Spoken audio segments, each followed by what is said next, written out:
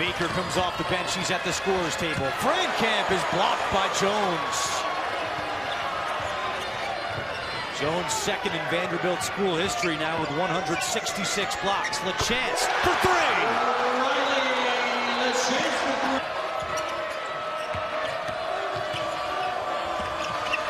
VanVleet blows right past Baldwin. It's knocked out though. It'll stay with Wichita State. 8.18 on the clock. Seven on the shot clock.